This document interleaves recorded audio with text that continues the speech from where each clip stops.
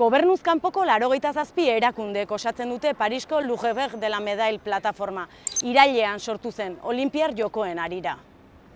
Saint Denisen iparraldeko barrutian kirol azpiegiturak egin zituzten eta han bizi ziren imigranteak bota zituzten.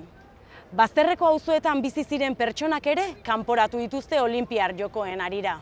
Paperik gabe bizi direnak eta kalteberak direnak, etxegabeak, sexu langileak, bai eta senaren ertzeetan zeudenak ere. Lau mila lagunetik gora kanporatu dituzte. Ohartu ziren operazio horien helburua garbiketa soziala egitea zela. Hori ikusirik indarrak batu eta hainbat ertzetatik eta hainbat modutan ari dira erantzuten auziari.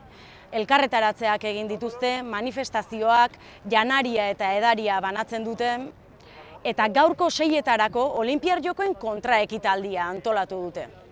Zuzi olimpikoak olimpiar jokoei hasiera eman aurretik sutzen dituzten injustizia horiek guztiak salatu nahi izan dituzte. Eta imigranteen eskubideen alde hartu dituzte Parisko kaleak.